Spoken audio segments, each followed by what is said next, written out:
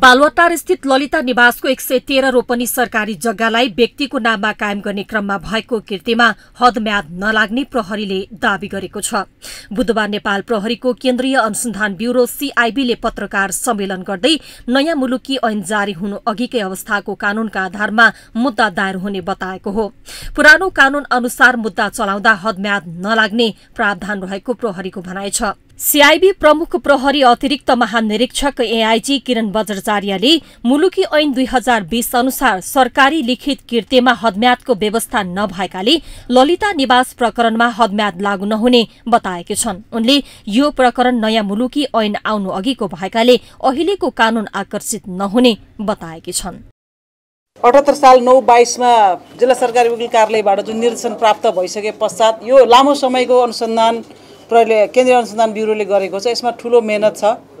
र प्रमाणहरू जुन हिसाबले सङ्कलन गरे अघि भर्खरै हाम्रो अहिले एसएस साहबले जुन प्रस्तुति गर्नुभयो उहाँले दिनुभएको जुन बुदाहरू छ तथ्यहरू छ र बुझिएका व्यक्तिहरूलाई त्यति तत्कालमा बुझिएका व्यक्तिहरूको बयानहरू इत्यादिलाई गर्दाखेरि मलाई जहाँसम्म लाग्छ यो मुद्दा दर्ता नगर्ने प्रश्न नै आउँदा मुद्दा दर्ता हुन्छ अगाडि बढ्छ। र यसमा हदम्यादको सन्दर्भमा अघि भर्खरै पनि यसको जुन कुन हामीले कुन एन एनलाई टेकेर जाँदैछौँ भन्ने कुरा स्पष्ट भइसकेको हुँदाखेरि यसमा दुविधा गर्नुपर्ने कुनै प्रश्न छैन।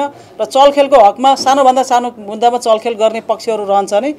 ती पक्षहरूसँग उनीहरूलाई जवाब दिने हामीसँग यथेष्ट प्रमाणहरू छन् यथेष्ट आधारहरू छ। त्यसले गर्दा यो मुद्दा एकदमै सही ढङ्गले अगाडि बढ्छ भन्ने कुरामा म हाम्रो टिम पूर्ण रूपमा विश्वस्त यस्तै सिआइबीका एसएसपी दिनेश आचार्यले दुई हजार सडचालिस पछिका चरण चरणमा ललिता निवासको एक सय त्रिचालिस रोपनी जग्गा हिनामिना भएको बताएका छन्। उनले राणालाई फिर्ता गरेको नाममा नक्कली मोही खडा गरेर र गुठी खडा गरेर जग्गा हिनामिना गरेको बताए।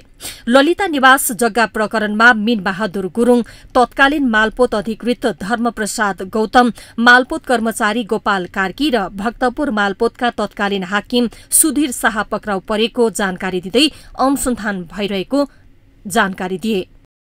यसरी विभिन्न चारवटा चरण गरेर ललिता निवासको जग्गाहरू चाहिँ विभिन्न व्यक्तिहरूको भाग उसमा गएको देखिन्छ र त्यसै सन्दर्भमा आज हामीले हिजो हामीले चारजना व्यक्तिहरूलाई पक्राउ गरेर अहिले त्यसमा सम्बन्ध व्यक्तिहरू केही कर्मचारी र बिचौलेहरूलाई र जसले चाहिँ यो होल उसमा चाहिँ जग्गाहरू लिने कार्यहरू गरेका छन् ती व्यक्तिहरूलाई पक पक्राउ गरेर थप अनुसन्धान कारवाहीको लागि हामी कारवाही अगाडि बढाउने प्रोसेसमा छौँ र अहिले प पछिल्लो अवस्थामा पक्राउ पर्ने चारजनाहरूमा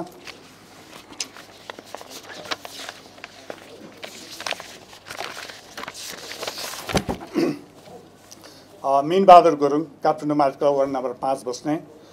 त्यस्तै तत्कालीन कर्म त्यहाँको मालपत अधिकृत धर्मप्रसाद गौतम त्यसपछि गोपाल का कार्की त्यतिखेरको मालपोत कर्मचारी र सुधीर शाह त्यतिखेरको भक्तपुरको मा मालपोत अधिकृत गरेर चारजना व्यक्तिहरूलाई हामीले नियन्त्रणमा राखेर कारवाही प्रक्रिया अगाडि बढाएका छौँ। ललिता निवास प्रकरणमा अख्तियार दुरूपयोग अनुसन्धान आयोगबाट दायर मुद्दा विचाराधीन छ।